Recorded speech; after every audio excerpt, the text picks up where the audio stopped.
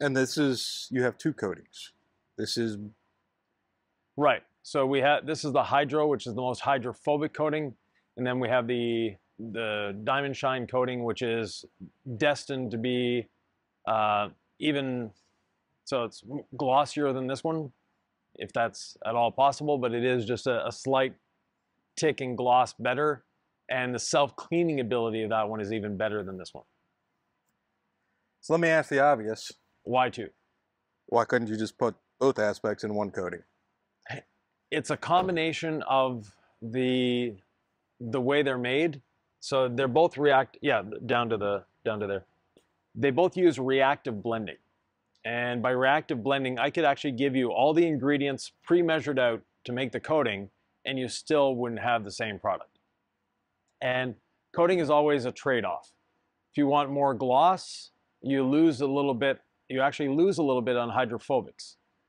Uh, if you want the best in hydrophobics, you lose a little bit on the self-cleaning and gloss ability. Mhm. So that's why we have both. It's up to the customer to decide what they want in terms of what's the characteristic that is most interesting to me. And I redid the shark fin a second time just to make sure I got all aspects of it.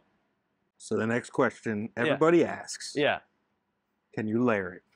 you can, you shouldn't. There's no need to layer. So the whole goal of this is as an entrepreneur, you want to be able to give the customer back their vehicle as soon as possible. So it's not taking up space in your shop and you don't have the liability of having a, you know, $150,000 car sitting in your shop or a $500,000 car or whatever. The customer also they want their car back as soon as they can get it. So yes, you can layer it. If you want to, you have to wait at least two hours, but no longer than eight hours. How many lifetime coatings do you want to put on? Yeah, exactly.